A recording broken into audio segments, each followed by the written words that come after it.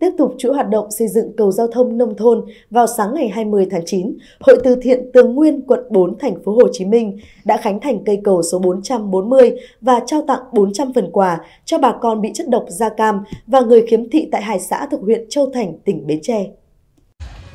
Tham dự lễ khánh thành có Đại Đức Thích Minh Phú, Phó ban thường trực Ban từ thiện xã hội do Hội Phật giáo Việt Nam thành phố Hồ Chí Minh, Chủ tịch Hội từ thiện chùa Tường Nguyên,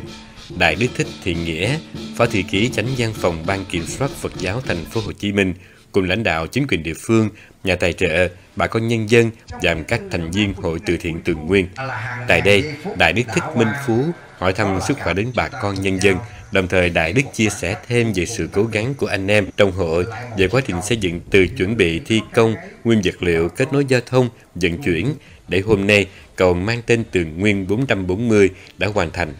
Cây cầu mở ra cơ hội cho bà con trao đổi hàng hóa, kết nối thị thành, phát triển về đời sống kinh tế. Đây cũng như một sứ mệnh mà Hội từ thiện cùng các mạnh thường quân, chính quyền địa phương phối hợp xây dựng.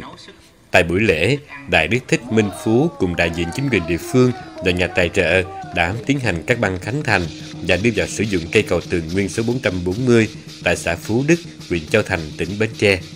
Cây cầu được xây dựng bằng bê tông có chiều ngang 4,9 m, dài 72 m, kinh phí xây dựng 6 tỷ đồng do gia đình của ông Phạm Văn B, bà Nguyễn Thị Ba, ông Hà Đức Tú, ông Truyền Lưu, ông Huỳnh Kỳ Trần, Phật tử Dư Thông ở Canada, Phật tử Thiên Ân Nguyên Nhã Dạm Tường Nguyên USA Foundation, Hội từ thiện chùa Tường Nguyên tài trợ. Ngoài ra, cầu cũng được sự hỗ trợ từ công sức lao động của bà con tại địa phương.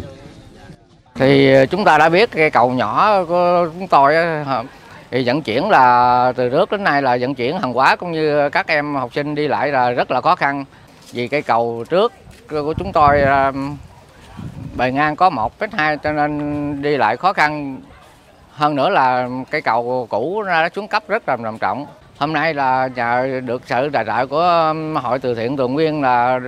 xây dựng được cây cầu như thế này, trong lòng bà con rất là phấn khởi và vui mừng vậy cũng thay mặt ờ, cho bà con ờ, nhân dân hai ấp Phú Ninh, Phú Hội cũng như toàn thể bà con nhân dân xã Phú Đức của chúng tôi. Cảm ơn nhà tài trợ Tường Nguyên đã ủng hộ cho cây cầu rất là đẹp. Được biết, cầu Tường Nguyên 440 đã ghi dấu ấn quan trọng trong hơn 20 năm hoạt động từ thiện của hội, bởi đây là cây cầu quy mô và dài nhất trong gần 500 cây cầu mà hội đã và đang tiến hành xây dựng đến thời điểm hiện nay. Tiếp nối sự chia sẻ đến bà con, trước đó Hội từ thiện Chùa Tường Nguyên đã trao tặng 400 phần quà cho bà con bị ảnh hưởng chế độc da cam và người khiếm thị tại xã Phú Túc, huyện Châu Thành. Phần quà gồm gạo, mì, nước tương, tiền mặt trị giá 700.000 đồng, tổng kinh phí trên 280 triệu đồng, cùng những lời thăm hỏi động viên ấm áp đến với bà con khiếm thị giảm chế độc da cam đang gặp nhiều khó khăn trong cuộc sống.